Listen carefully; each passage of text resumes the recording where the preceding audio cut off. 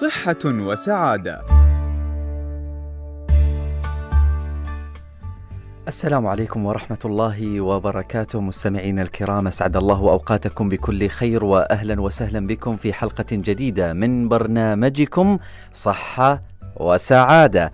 صباح الخير والنور والإشراق، صباح الازدهار لإماراتنا الحبيبة، صباح مليء بالخير والصحة والسعادة عليكم جميعا وعلى كل مستمعي إذاعة نور دبي. برنامجكم صحة وسعادة يأتي بالتعاون مع هيئة الصحة بدبي وإذاعة نور دبي من خلال مؤسسة دبي للإعلام هي نافذة نطل بها عليكم مستمعينا الكرام نستقبل فيها آراءكم وملاحظاتكم ومداخلاتكم حول مختلف القضايا التي تهم القطاع الصحي في إمارة دبي. حقيقة آه كما عودناكم في هذا الأسبوع أسبوع الابتكار آه نحاول من خلال هذه آه من خلال هذا الأسبوع أن نقدم لكم المعلومة المفيدة حول مختلف الابتكارات الموجودة في القطاع الصحي ومن خلال هيئة الصحة بدبي. سؤال الحلقة اليوم متى اعتمد صاحب السمو الشيخ محمد بن راشد آل مكتوم نائب رئيس الدولة رئيس مجلس الوزراء حاكم دبي رعاه الله قانون الضمان الصحي؟ هل في نوفمبر عام 2012 أم نوفمبر عام 2013 أم نوفمبر عام 2014 نستقبل إجاباتكم على ال SMS 4006 وأيضا لمداخلاتكم عبر البرنامج من خلال الرقم 600 55 14 واحد أربعة. وبما أننا نتحدث عن أسبوع الابتكار فقد قامت هيئة الصحة بدبي بإنشاء القرية الصحية للابتكار المتواجدة على شاطئ جميرة وبالتحديد في شاطئ الكايت بيتش. هنالك تم عرض الكثير من المشاريع المبتكرة في هذا القطاع. أيضا نتحدث اليوم عن موضوع جميل جدا وابتكار فريد من نوعه لطبيب مواطن يعمل بهيئة الصحة بدبي تمكن من ابتكار طريقة جديدة لإعادة تشكيل جدار البطن وتم تسجيلها في مجلة علمية أمريكية تحت اسم انشقاق البطن. بخطوتين. هذه الطريقة تساهم بشكل كبير في تخفيف العبء المالي والاقتصادي على المريض وذويه والمؤسسات الصحية بشكل عام وأيضا تخفيف الألم على المريض وهو وهو الهدف الرئيسي من وراء هذه الطريقة. للتعرف على هذا الإنجاز الطبي يسرني أن أبدأ هذه الحلقة مع ضيفي في الاستوديو الدكتور مروان أحمد الزرعوني استشاري ورئيس قسم التجميل بمستشفى راشد. صباح الخير دكتور. صباح النور. دكتور يعني ابتكار فريد من نوعه. خلنا نعرف المستمعين بداية عن فكرة هذا الابتكار. الفكرة بسيطة في 2007 واجهتني حالات صعبة اللي يكون عندهم انشقاق في البطن والانشقاق هذا يكون له علاقة بحوادث سيارات سقوط من الأماكن المرتفعة استئصال خلايا سرطانية. في النهاية يؤدي إلى تكون ضعف في جدار البطن وانشقاق كبير فيصعب على الجراح علاج المشكلة هاي ونفس الوقت يأثر على المريض أنه ما يقدر يرجع لحياته الطبيعية ويمارس حياته بالشكل الطبيعي. فجت لي الفكرة أني ليش ما أعالج المريض بطريقة أن نقدر يمارس بطريقة طبيعية بأسرع وقت ممكن. لأن الطريقة اللي متعارف عليها حاليا موجودة في العالم لين يومنا هذا أنهم يغطونه برقعة جلدية شيء مؤقت وبعد سنة يرجعون المريض مرة ثانية ويفتحون المكان ويعالجون المشكلة والفتاق أو الانشقاق هذا يروح عنه. ولكن أنا حسيت إني الفترة الزمنية اللي هو السنة المريض ما يقدر يتحمل فيها ويبتعد عن ممارسة حياته ونفس الوقت من الناحية المادية إن السنة كاملة ما يقدر يشتغل لازم يعني يفكر بطريق بألف ألف طريقة وطريقة على أساس إنه ما يأثر أو ما تجيد له الضربة على بطنه لأن جدار البطن يكون مفقود. ففكرت شو اللي أقدر أسوي له إياه على أساس إنه أرجع بناء طبقات البطن. فمع مرور الوقت اكتشفت طريقة أني أقدر أستخدم ال- الغشاء اللي موجود في البطن نفسه مجرد أني أغير مكانه وأغطي بطريقة ان يغطي الأحشاء من الخلايا السليمة اللي موجودة عند المريض بخطوتين في خلال أسبوعين. وفي الأسبوع الثالث أشرف عليه على أساس انه أموره تكون طيبة وبعدين يرجع يمارس حياته الطبيعية. ممتاز آه، دكتور هذا الابتكار يساهم في آه، علاج انشقاقات البطن بشكل عام أم آه، الانشقاقات الناجمة عن الحوادث والإصابات أي انشقاق موجود أدى إلى فقدان ال- الجدار اللي يحمي الأحشاء اللي هو جدار البطن ممكن يستخدم فيه هاي الطريقة لإعادة بناء الجدار. ممتاز. طيب دكتور الفرق بين هذه الطريقة والطرق الأخرى شو شو المميزات في هذه الطريقة وشو ال- الأشياء اللي ممكن تضيفها هذه الطريقة عن الطرق القديمة؟ الطرق القديمة الموجودة وهي حديثة بعد نفس الوقت يستخدمونها لين يومنا هذا إنهم يغطون برقعة جلدية مؤقتة على ال ال الأحشاء ال- المكشوفة ويساعد على آه، التئام الجرح وتهدئة المكان لمدة سنة. سنة. وبعد سنة يرجعون المريض مرة ثانية يشيلون الرقعة الجلدية هاي ويحاولون إنهم يعيدون بناء الجدار باستخدام أغشية آه، اصطناعية وبعدين يرجع المريض بح... يمارس حياته الطبيعية. لكن نحن آه، نحاول ان نختصر الفترة الزمنية هاي بدل ما يكون سنة نخلص في خلال أسبوعين. ممتاز. آه، ونفس الوقت يوفر علينا الفلوس. يوفر علينا الفلوس إن ما نعيد العملية مرة ثانية، ما نستخدم خلايا اصطناعية، ونفس الوقت يوفر على المريض إن المريض يقدر يمارس حياته الطبيعية ويرجع للشغلة على طول عقب ثلاثة أسابيع من العملية، ولكن بالطريقة الموجودة آه، قديما وحديثا في بعض الدول إن المريض ما يقدر يمارس حياته الطبيعية إلا بعد سنة، فهذا يأثر على مدخوله ممتاز دكتور أنا آه، يعني آه، بتطرق لبعض ال- المواضيع ال- ال- الفنية في هذه ال- ال- ال- العملية لكن يمكن آه، خلنا قبل قبل ذلك أتحدث عن هذه الطريقة يا ترى هل هي تحتاج إلى كوادر طبية يعني كبيرة على أساس يسوون هذه العملية؟ العملية هاي أنا أسويها بروحي فمو محتاج كوادر طبية ولكن هي لها فكرة. فلازم الش- الشخص اللي حاب إنه يمارس العملية هاي لازم يتدرب تحت إشرافي فتره كم من شهر على أساس أقدر أنقل الأفكار هاي والخطوات. بدون ممارسة الخطوات هاي بالطريقة اللي أنا اكتشفتها ما يقدر يجريها. طيب دكتور أنت قلت أن العملية تأخذ من آه، أسبوعين إلى ثلاثة أسابيع ويرجع المريض آه، يمارس حياته، يمارس نعم. حياته بشكل طبيعي. نعم. لكن الوقت لإجراء هذه العملية كم آه، تستغرق؟ هي العملية أول شيء يبغى لها في أول أسبوع آه، تحضير المكان. والتحضير له خطوات معينة.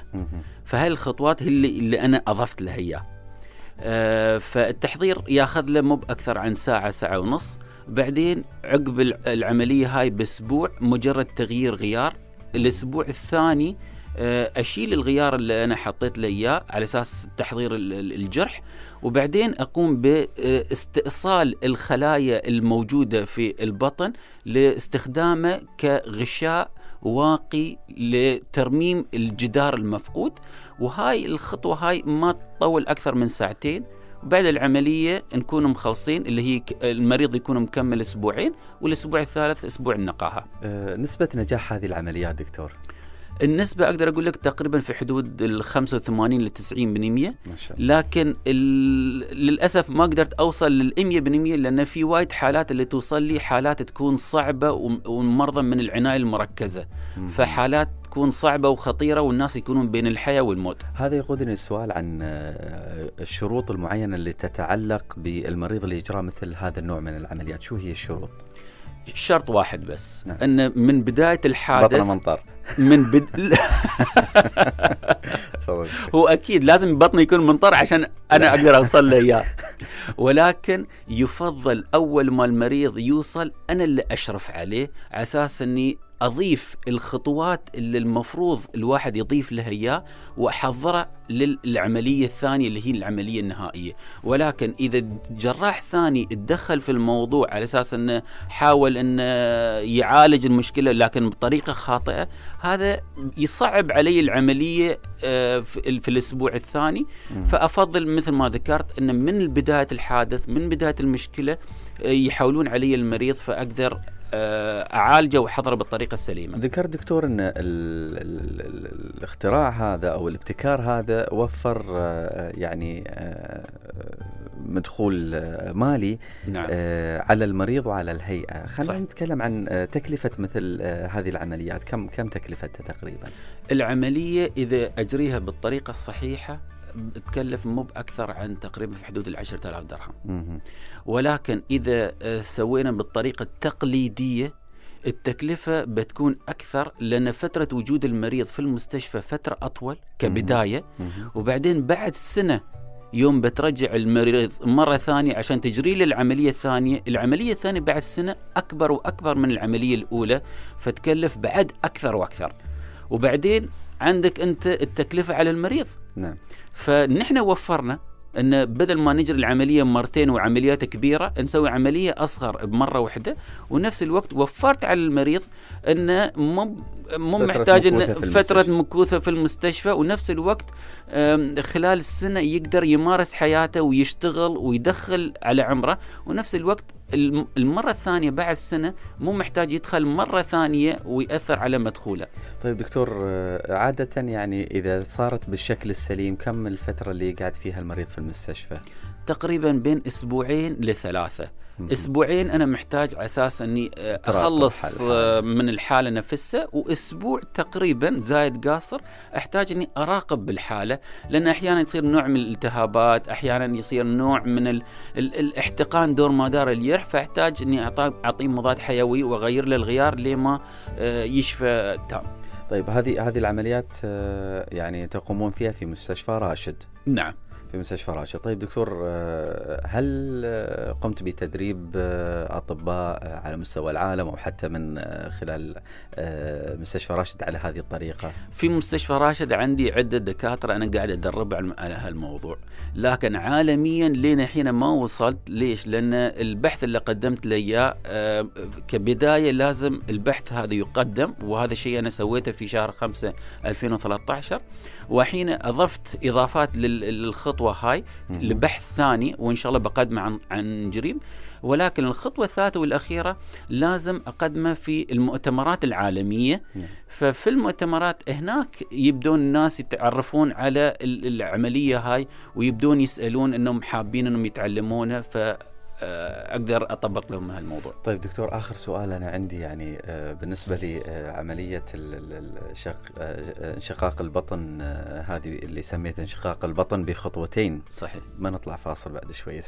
بس آخر سؤال حسين. آه، آه، يعني أكثر شغلة تهم المريض انه إنه ما يبين جرح عنده في بطنه أو كذا بما إنك أنت طبيب آه، عمليات تجميل. هل هل بيتم في أثر للجرح بالنسبة للمريض؟ أحاول قد ما أقدر أخلي الأثر بسيط جدا والخياطة كلها خياطة داخلية. في بعض الناس يسمونه خياطة ليزر. وفي بعض الناس آه، يسمونه خياطة العروسة اللي هي خياطة داخلية ما تبين. العروسة دكتور؟ لأن الخياطة ما آه، ما تكون مكشوفة ما في خيوط برا والخيوط كلها داخلية وتذوب بروحها مع مرور الوقت. ممتاز. وبعد فترة ممكن نستخدم جلسات الليزر على أساس أن نخفي. طيب آه، دكتور مروان الزرعوني. استشاري ورئيس قسم التجميل بمستشفى راشد. نحن سعدنا بالحديث معك وسعدنا جدا بهذا آه، آه، الاختراع وأيضا فخورين بوجود طبيب آه، اماراتي قدم مثل هذه الابتكارات العالمية وإن شاء الله نحصل على الاعتمادات العالمية في هذا المجال. وكل التوفيق لك. دكتور مروان زرعوني شكرا جزيلا لك. شكرا لك. آه مستمعينا نحن بس قبل أن نطلع فاصل خلونا نذكركم بسؤال المسابقة. سؤال المسابقة يقول متى اعتمد صاحب السمو الشيخ محمد بن راشد آل مكتوم نائب رئيس الدولة رئيس مجلس وزراء حاكم دبي رعاه الله قانون الضمان الصحي بدبي؟ في نوفمبر 2012 أم نوفمبر 2013 أم نوفمبر 2014 نستقبل إجاباتكم على رقم الإس إم إس 4006 وتابعوا البرنامج يمكن تحصلون الإجابة في اللقاءات القادمة. فاصل ونرجع لكم. صحة وسعادة. أسعد الله أوقاتكم مرة أخرى مستمعين الكرام وأهلا وسهلا بكم في حلقة جديدة من برنامجكم صحة وسعادة. نذكركم بسؤال المسابقة متى تم متى اعتمد صاحب السمو الشيخ محمد بن راشد آل مكتوم نائب رئيس الدولة رئيس مجلس الوزراء حاكم دبي قانون الضمان الصحي بدبي. الخيار الأول نوفمبر 2012 أم نوفمبر 2013 أم نوفمبر 2014 يرجى إرسال الإجابات على رقم رقم الإس إم إس 4006 وغالبا يعني معظم الإجابات آه، تقريبا كلها إجابات صحيحة. آه، مستمعينا أيضا آه، يمكنكم التداخل معنا عبر البرنامج من خلال الرقم 655 14 14 600 55 14 14 تحتفل دولة الإمارات العربية المتحدة هذه الأيام يعني في انتظار آه هذا الحدث الغالي على قلوبنا اليوم الوطني الرابع والأربعين هذا اليوم الذي نقف فيه جميعا وقفة عز وكبرياء. وقفة مجد وشموخ. نستلهم فيه العبر من الاتحاد وروح الاتحاد لنمضي سويا بروح الفريق الواحد لتعزيز مسيرة البناء والإنجاز التي رسمها لنا الآباء والأجداد عبر تاريخ حافل بالإنجازات. بهذه المناسبة يشرفني أن أتقدم بخالص التهاني والتبريكات لمقام سيدي صاحب السمو الشيخ خليفة بن زايد آل نهيان رئيس الدولة حفظه الله وإلى مقام سيدي صاحب السمو الشيخ محمد بن راشد آل مكتوم نائب رئيس الدولة رئيس مجلس الوزراء حاكم دبي رعاه الله وإلى كافة أعضاء المجلس الوط... الأعلى للاتحاد حكام الإمارات وأولياء وأولياء العهود وأبناء شعب الإمارات والمقيمين على هذه الأرض الطيبة. سائلا المولى عز وجل أن يديم علينا نعمة الأمن والأمان والاستقرار لنواصل معا مسيرة العز والمجد والريادة تحت ظل قيادتنا الرشيدة. حقيقة في آه هذا اليوم تحتفل العديد من الدوار والمؤسسات المحلية بهذه المناسبة وتنظم الكثير من الأنشطة والفعاليات الوطنية التي تعكس روح الاتحاد. هيئة الصحة بدبي بدورها. لديها العديد من الفعاليات والمناسبات آه، الفعاليات والأنشطة بهذه المناسبة. ولتسليط الضوء عليها يسرني أن أستضيف معي عبر الهاتف الأستاذة هنا أحمد رئيس قسم الفعاليات بهيئة الصحة بدبي. مرحبا بك آه، هنا. وخلينا نتعرف معك على الأنشطة والفعاليات التي تنظمها هيئة الصحة بهذه المناسبة. مرحبا أخوي آه طبعا بداية أحب أني أتقدم باسم آيات التهاني والتبريكات لقيادتنا الرشيدة وشعب الإمارات بهذه المناسبة العزيزة على قلوبنا كلنا. وهيئة الصحة مثل ما تفضلت أخوي أن بتحتفل في هذا اليوم من خلال الأنشطة والفعاليات المتنوعة اللي بتعكس الهوية الوطنية وتعبر عن التطورات والإنجازات اللي حققتها دولتنا الحبيبة منذ قيام الاتحاد. نعم. الأنشطة والفعاليات اللي بتكون إن شاء الله في هيئة الصحة بدبي آه بهذه المناسبة تتنوع بين الفعاليات التراثية والأغاني والأهازيج الوطنية كذلك عندنا المطبخ الشعبي اللي يعرض العديد من الأطباق الشعبية الإماراتية نعم. وعندنا معرض للحرفيين اللي بنستعرض فيها الحرف والمهن القديمة المتعلقة بالموروث الشعبي مثل الطب القديم إضافة إلى استعراض التطور الطبي اللي شهدته دولة الإمارات خلال السنوات الماضية. جميل جدا جميل يعني آه، ربطوا التراث الطبي في دولة الإمارات بالفعاليات اللي آه، تحتفلون فيها بهذه المناسبة. طيب آه، أخت هنا أماكن وجود هذه الفعاليات؟ الاحتفال الرئيسي بيكون إن شاء الله في الإدارة العامة لهيئة الصحة بدبي نعم. بينما هناك العديد من الفعاليات الأخرى في كافة المستشفيات والمراكز الصحية المختلفة اللي تزينت بالعالم الدولة آه، للتعبير عن هذه المناطق. طيب إذا الهيئة تحتفل في كافة مرافقها بمختلف آه، الأقسام ومختلف المراكز الصحية بهذه المناسبة. لكن آه، هنا دائما آه، نحن عبر هذا الأسبوع كنا نتحدث عن القرية الصحية للابتكار. هل هنالك شيء ينتظر زوار هذه القرية بهذه المناسبة؟ نعم أخوي محمود بتكون عندنا فعاليات بهالمناسبة في القرية الصحية للابتكار واللي بتبدأ إن شاء الله من اليوم وتستمر إلى يوم السبت. يوميا من الساعة الرابعة وحتى التاسعة مساء. وتتضمن طبعا الأغاني الوطنية والأهازيج والرقصات الشعبية اللي تعكس آه، الهوية الوطنية عندنا. طيب هنا إذا بنذكر بس المستمعين على عجالة بالفعاليات الأخرى المتواجدة في قرية الابتكار. عندنا في القرية الصحية للابتكار العديد من الفعاليات مثل الفحوصات الطبية المجانية نعم. المتعلقة بالطول والوزن وقياس ضغط الدم والكوليسترول والسكري آه وكمان هناك استعراض للتطبيقات آه الذكية للهيئة نعم. مثل تطبيق صحتي أطباء دبي وتطبيق طفلي وتطبيق حياتي وغيرها من التطبيقات والخدمات الذكية نعم.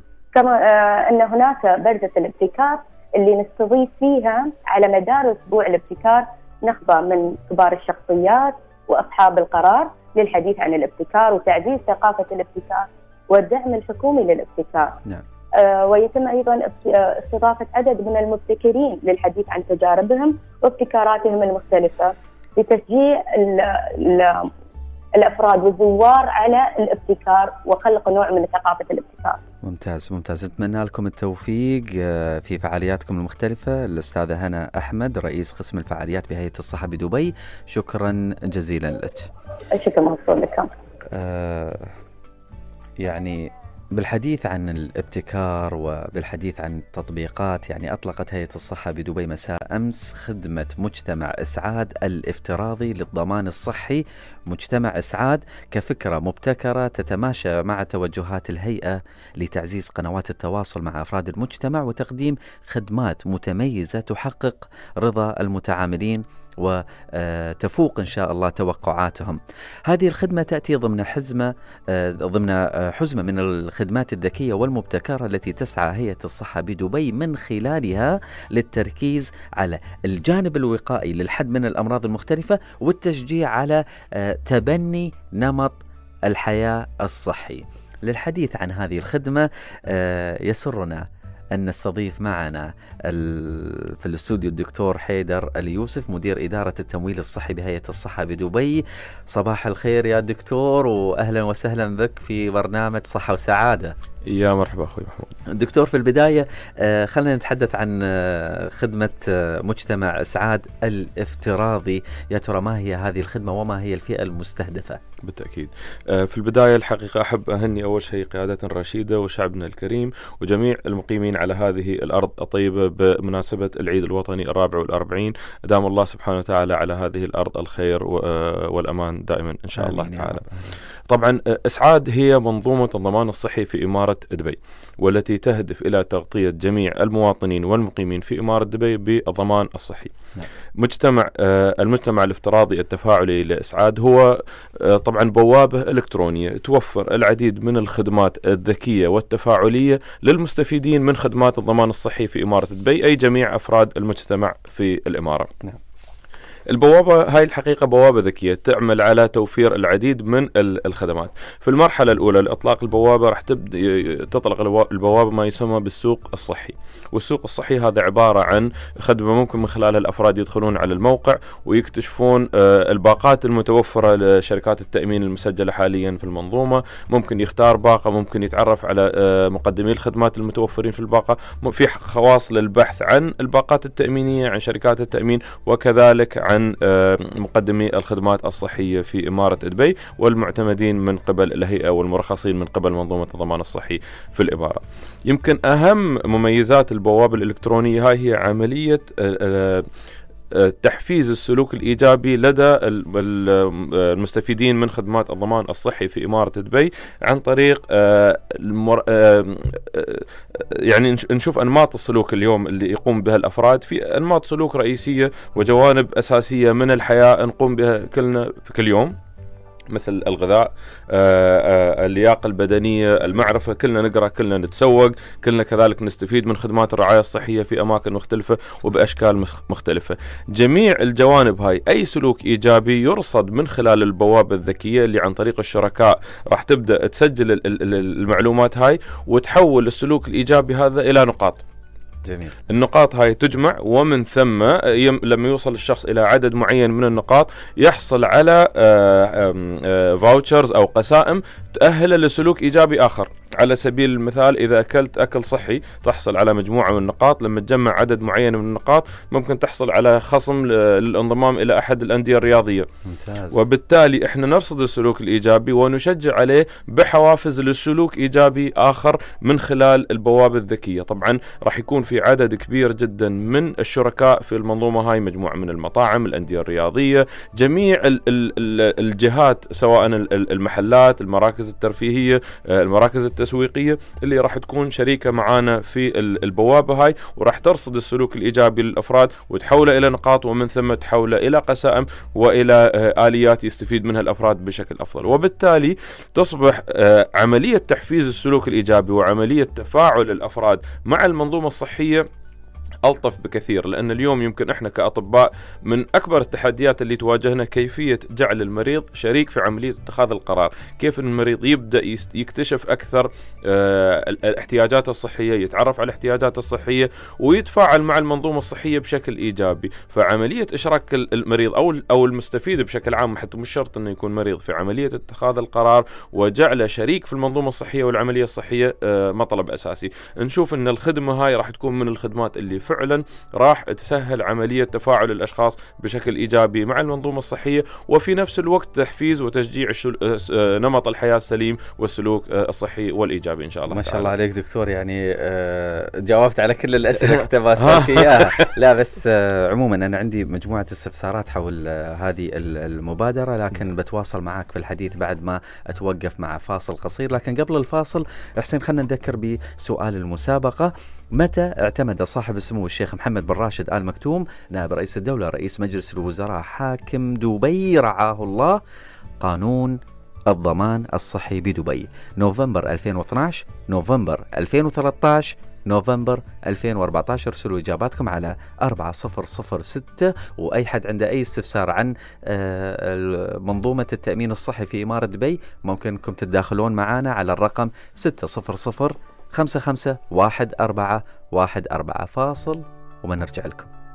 صحة وسعادة.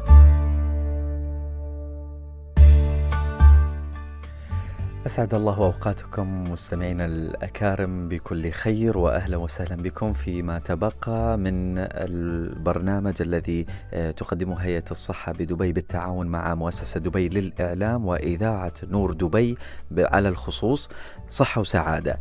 كنا قبل الفاصل آه، قد توقفنا للحديث عن آه، بعض الجوانب المتعلقة بخدمة مجتمع إسعاد الافتراضي مع ضيفنا في الاستوديو الدكتور حيدر اليوسف مدير إدارة التمويل الصحي بهيئة الصحة بدبي. لكن دكتور خلينا نذكرهم بما أن سؤال المسابقة نتحدث فيه عن الضمان الصحي. يا ترى آه، متى تم أو متى اعتمد صاحب السمو الشيخ محمد بن راشد آل مكتوم نائب رئيس الدولة رئيس مجلس وزراء حاكم دبي رعاه الله قانون الضمان الصحي بدبي.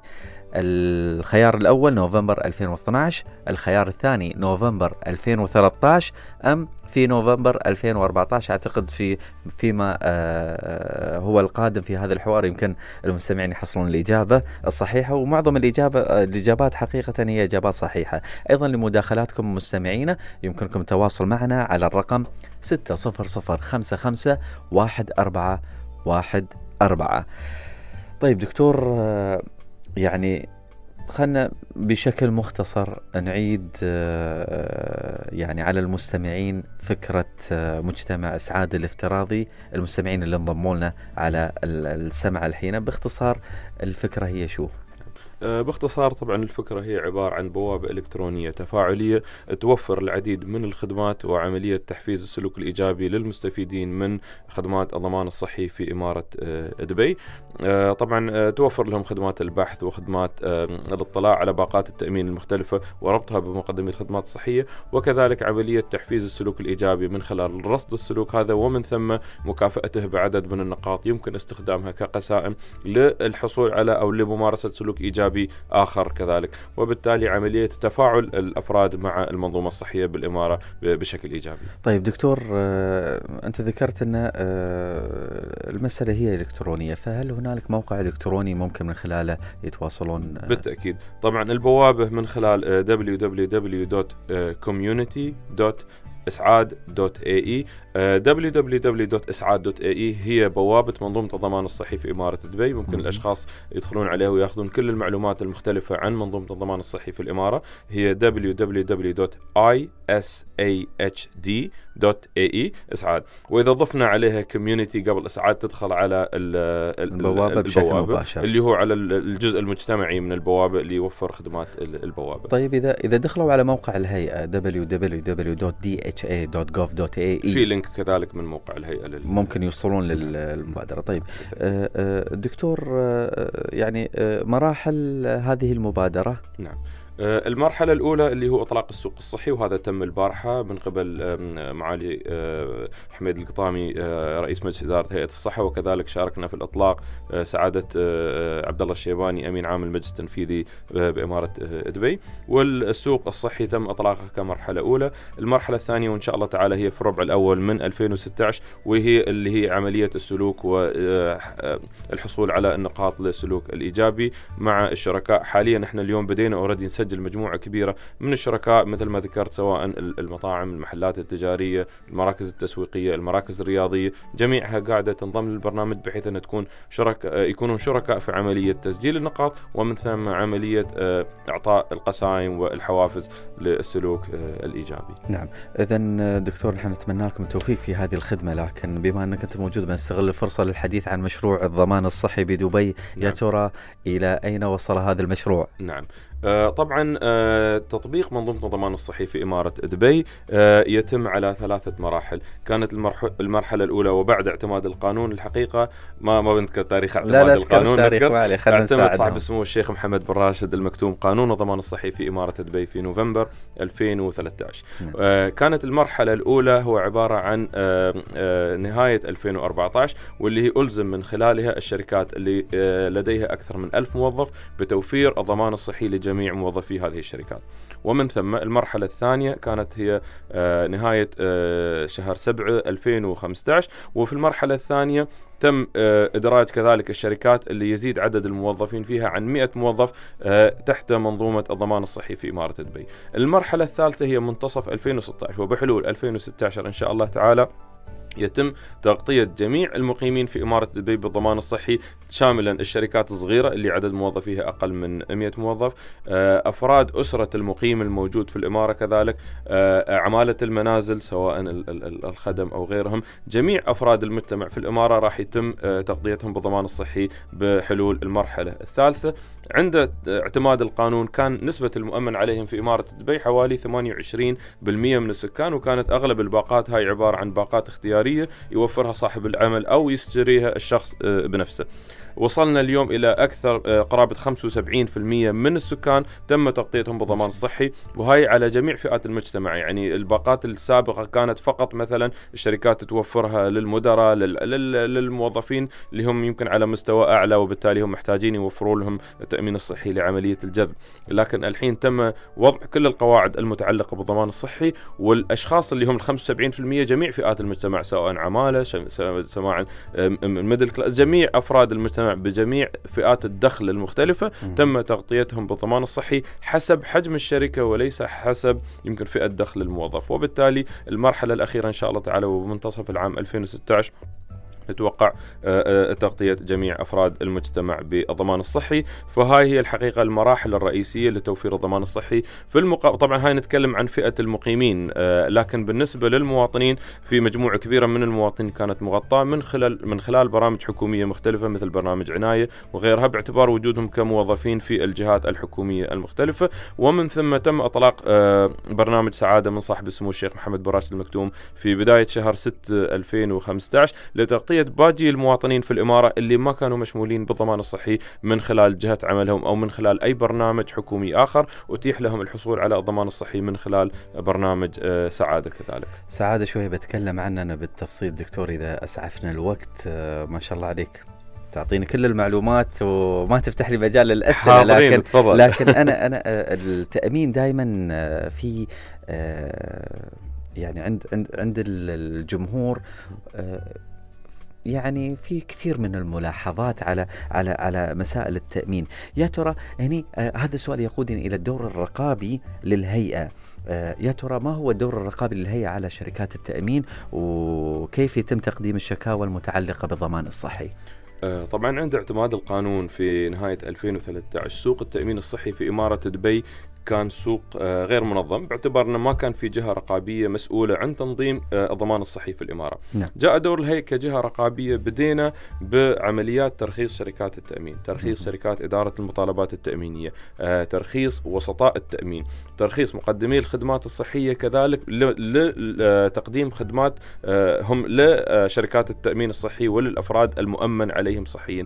جميع الضوابط الترخيصية هاي وضعت ومن ثم روعي فيها عملية زيادة الجوده، كيف الشركات تنظر إلى عملية الشكاوي على سبيل المثال، كل كل شكوى آه يتصل بها ال- المؤمن عليه. لشركة التأمين لازم تخضع لآلية معينة من المتابعة والمراقبة وعملية ال- الإدراج ومن ثم عملية التبليغ آه للهيئة. في حال أن شركات التأمين ما آه أوفت بالتزاماتها بشكل صحيح الهيئة كذلك لها قناة للتواصل. القناة هاي الحقيقة ممكن من خلالها الأفراد أنهم يقدمون شكاويهم ملاحظاتهم حتى الثناء. يعني حتى لو كانت عندهم ملاحظات إيجابية على شركة من شركات التأمين أو برامج من البرامج المختلفة ممكن كذلك في نفس الوقت ي- يوصلون المعلومة هاي لأن جميع المعلومات هاي تجمع ومن ثم تدخل في عملية إعادة أم، آه، تراخيص شركات التأمين هاي للسنة آه، القادمة. وإذا في كان آه، احتياج آه، خطوات أكثر سرعة تؤخذ كذلك تؤخذ. يعني اليوم شخص مثلا من حسب البوليصة هو مغطى ل- لخدمة معينة في مستشفى معين راح يحصل على الخدمة هاي. ال- شركة التأمين رفضت أن تغطيها مباشرة يقدر يتواصل معنا من خلال الموقع الإلكتروني اللي هو iPROMeS مجرد يدخل على Google search ويحط iPROMeS I P R O M E S على طول يظهر له لأنه it's very popular ما شاء الله ال- ال- البوابة فعلى طول يطلع على الموقع الإلكتروني لإدارة الضمان الصحي. يحط من خلالها تفاصيل الباقة وفي خلال آه، يعني 24 ساعة يتواصلون مع الموظفين من عندنا وتنحل آه، المشكلة مباشرة. إذا كان الالتزام على شركة التأمين ورفضت شركة التأمين ال- ال- ال- الالتزام بهذا بهذه الخدمة أو تغطية الخدمة مباشرة يطلب منها وتقوم ب- بتغطية آه، الخدمة. نعم دكتور نحن نستقبل بعض الاتصالات من الجمهور لأن ال- الموضوع يعنيهم بشكل مباشر. طبعا. أعتقد معانا أبو أحمد على الهواء. أبو أحمد تفضل. السلام عليكم. السلام ورحمة الله. السلام عليكم. شكرا للإذاعة وشكرا للبرنامج الصحي. معك أبو محمد عصمت. أبو محمد. يا اي هلا. نعم. أنا أنا أول شيء أحب أوضح إنه أنا وافد مو مواطن. مهم. موظف بشركة. فعندي تأمين صحي من من الشركة مهم. لنفسي أنا. بس يعني أف- أفراد أسرتي اللي هم زوجتي وعيالي ما عندهم تأمين صحي. حقيقة أنا أعاني يعني كل مرة مرة ترى العيال يمرضوا أعاني كل ما أذهب للمستشفيات يعني واضح. واضح. فسألت إذا يعني إذا ممكن أنا أدفع في شركة أنا أدفع الفلوس عليها وتعطيني ضمان صحي حق أنت في دبي أبو محمد ها؟ اي أنا أنا في دبي أشتغل ب... يعني بدون ذكر أشتغل بمطار دبي ممتاز. بدون ذكر ممتاز. طيب أنت ذكرت ما شاء الله. طيب أبو محمد سؤالك واضح. إن شاء الله الحين بيجاوبك الدكتور. شكرا أبو محمد. شكرا جزيلا. شكرا جزيلا. طيب دكتور طيب. أعتقد سؤاله واضح. نعم. آه، طبعا الالتزام القانوني على صاحب العمل هو تأمين الموظف نفسه. الالتزام القانوني بالنسبة لأفراد أسرة الموظف على الموظف. اللي تضمن هيئة الصحة بدبي من خلال منظومة الضمان الصحي هو وجود باقات منافسة الأسعار ممكن من خلال هالموظف حتى لو كان دخله بسيط أنه يحصل على باقة مناسبة لأفراد أسرته تبدأ أسعار الباقات ال ال في إمارة دبي اليوم من حوالي 615 درهم بالنسبة لأفراد الأسرة ممكن شخص يشتري باقة آه، تأمينية لمدة سنة. لأفراد أسرته تبدأ من حوالي 700 إلى 800 درهم والباقات هاي متوفرة لدى شركات التأمين المرخصة في إمارة دبي. وتغطي كل الاحتياجات الأساسية للشخص بحيث أنه ما يضطر أنه يأخذ المبالغ من مأكلة من ملبسة من احتياجاته الأساسية ويدفعها إلى الصحة. والباقات هاي اليوم متوفرة عند آه، 45 شركة تأمين مرخصة من قبل هيئة الصحة في دبي. نعم. آه، دكتور نستقبل بعد اتصال من آه، محمد فواز. تفضل أخوي محمد. ألو السلام عليكم. وعليكم السلام يا هلا. الله يعطيكم العافية يا رب وإن شاء الله عيال بارك يدهم آمين يا رب. تفضل محمد. طويل العمر أنا عندي مداخلة ما بعرف إذا بتخص موضوع البرنامج بس بعتقد موضوع عام بخص الناس كلها يعني. تفضل يا سيدي. أنا مقيم بهالدولة من عشر سنين. نعم. بسنه 2012 عانيت بعض الآلام وصرت لأعمل عملية ديسك. مهم. أه، طبعا ما عندي تأمين صحي دفعت دفعت من جيبي يعني. نعم. تعرضت لغلط طبي من عملية جراحية بأحد المشافي الخاصة بدبي نعم. وأول عملية من بعد من بعد الغلط يعني اضطريت إني أعمل أربع عمليات جراحية آخرها زرع براغي بعمودي الفقري. هلأ أنا بحكم مهنتي اللي بتتطلب القوة والطاقة الجسدية نعم. الله يعزك مدرب كلاب أنا فقدت عملي وفقدت شغلي وفقدت حياتي. هلأ صار في قضية بيني وبين المستشفى. نعم. وبعد انتظار ثلاث سنين الحمد لله حصلت على تقرير من هيئة الصحة ووزارة الصحة أثبتوا فيه الغلط الطبي سؤال هلأ أنا بس اقتراحي إنه موضوع وزارة الصحة يكون مرتبط بالمحاكم. يعني أنا آه، يوم القاضي بيحكم لي بتعويض هذا التعويض أنا لا يكفيني لعلاج فيزيائي لمدة سنتين. نعم. طب أنا كيف حياتي؟ حياتي اللي خسرتها حياتي اللي بدي أعيشها عملياتي المستقبلية. آه، يعني حياتي كلها خربت وهذا أنا التعويض اللي حكم لي إياه القاضي. آه، ما هو مكسب لإلي؟ أنا أتمنى أكون عندي عشر أضعافه وأرجع مارس حياتي طبيعية بشكل طبيعي ما أني يقولوا عني إنسان معاق. صحيح صحيح. فأنا اقتراحي الوحيد إنه وزارة الصحة تكون مرتبطة مع المحاكم بموضوع الأضرار الصحية أو الأغلاط الطبية بحيث إنه التعويض يعوض هالإنسان هذا الشيء اللي فاته والشيء اللي محتاج له مستقبلا. صح ما هو يكون تعويض آه، يعمل فيه مصلحة أو يقدر يستفيد منه ماديا لأنه هي بالنهاية الصحة بتسوى كل فلوس الدنيا. نحن نتمنى لك آه، محمد فواز آه، يعني آه، دوام الصحة والعافية الله يبارك مداخلتك واضحة وأيضا دكتور تبغيني أرد ولا بترد أنت؟ يمكن. بس باختصار وبسرعه لأن يمكن الموضوع بعيد شوية عن موضوعنا طبعا عملية أول شيء توفير التغطية التأمينية هذه كانت مش متوفرة والحين راح تتوفر لجميع أفراد المجتمع فهاي البداية مم. ثانيا اليوم وجود كل الإجراءات الرقابية من قبل الهيئه سواء من إدارة التمويل الصحي أو الإخوان في إدارة التنظيم الصحي تنظر إلى العديد من الأمور هاي وتهدف إلى أن القضايا هاي ما تحتاج أنها توصل للمحكمة أنها تحل بشكل مبكر أكثر بحيث أن حتى لو كان في خطأ من المستشفى فشركة التأمين ما تدفع جيمة العلاج المستشفى يدفع وفي لجنة طبية تقر الموضوع وتنظر له. نعم. بالنسبة للتعويض ال- في النهاية آه، يذهب إلى المحكمة ومثل ما تفضل الأخ المحكمة تطلب تقرير آه، عن نسبة الإعاقة ونسبة الضرر من الجهات الصحية وفي النهاية المحكمة هي الجهة الوحيدة المخولة بعملية آه، تقرير آه، كمية الضرر ال- تقييم الضرر وبالتالي التعويض المادي عن الضرر هذا. لكن دائما القوانين والعمليات هاي في تطوير مستمر وفي كثير من الربط والتنسيق مع الإخوان في المحاكم بهالخصوص. ممتاز. في عندنا اتصالات آه، ثانية؟ طيب آه، دكتور آه، نحن آه، توقفنا عن الشكاوى المتعلقة بالضمان الصحي وأعتقد من خلال الاتصالات أيضا نحن طرحنا بعض المواضيع. لكن أنت ذكرت على موقع دكتور هل هنالك خط ساخن ممكن الواحد يتصل من خلاله بشكل مباشر؟ نعم. هو ممكن الاتصال على الكول سنتر التابع لهيئة الصحة في دبي وهم كذلك راح يأخذون البيانات أو يحولون الشخص للموقع. اللي هو 800 3 4 2 800 DHA نعم. الحقيقة مهم عملية التسجيل من خلال الموقع لأنه يحط الشخص بيانات الباقة التأمينية نفسها. نعم. يعني ال- ال policy number رقم البوليصة نعم. وبيانات شركة التأمين لأن هاي البيانات مهمة جدا بالنسبة لنا في متابعة الحالة. وبالتالي ال- الحل الإلكتروني هو الحل الأسرع والأفضل. لكن إذا كان في حد مثلا ما عن يعني كبير في السن أو كذا يتواصل مع موقع الهيئة مع مع ال- ال- ال call center للهيئة وهم يقومون بوضع ال- ال- الكومبلين هذا له. الحقيقة نقطة مهمة جدا ونسبة غير صغيرة من الشكاوي اللي تردنا ترد نتيجة يعني يمكن ضعف آه، علم الشخص بالباقة التأمينية نعم. يعني هو يتخيل أن التأمين هذا عبارة عن آه، تغطية كاملة لكل شيء موجود. أحيانا الباقات فيها تفاصيل معينة. مهم جدا أن الشخص يطلع عليها. يطلع على البوليصة. نعم. يعرف حقوقه واجباته التزاماته شو اللي له وشو اللي عليه وشو شبكة الخدمات اللي هو مغطى فيها لأي نوعية من الخدمات. طيب دكتور أنا الوقت أدركني وحسين يعني واقف على رأسي يقول لي خلص بس باختصار دكتور الفرق ما بين آه، سعادة وإسعاد. نعم. إسعاد هو الاسم الذي أطلق على منظومة الضمان الصحي في إمارة دبي والتي تهدف إلى إسعاد أفراد المجتمع. نعم. و- وجاه الحقيقة من آه، كلمات صاحب السمو الشيخ محمد مراش المكتوم في أن الهدف من النظام الصحي هو إسعاد المجتمع وتوفير السعادة لأفراد المجتمع. سعادة اسم آه، باقة تأمينية خاصة بالمواطنين في إمارة دبي. توفر الضمان الصحي للمواطنين اللي ليس لديهم تأمين من جهة آه، عملهم. طيب دكتور آه، نختار أعتقد إذا بتعلن لنا اسم الفايز معانا اليوم في الحلقة بما أن السؤال الخاص بالضمان الصحي. نعم والفايز في سؤال الضمان الصحي الأخ فيصل علي محمد.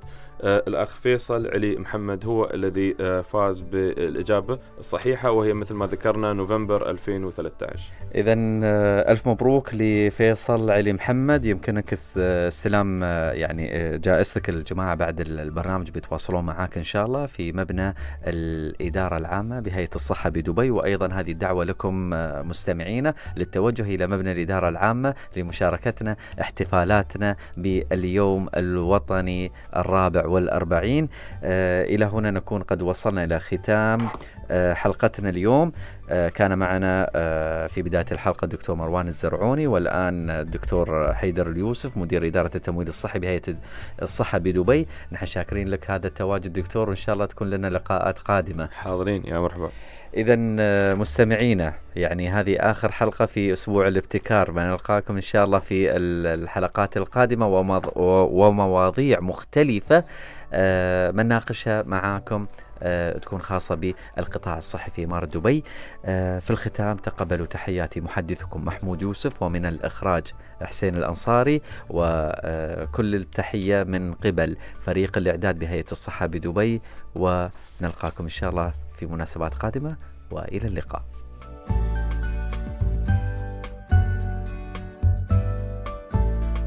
صحة وسعادة برعاية هيئة الصحة بدبي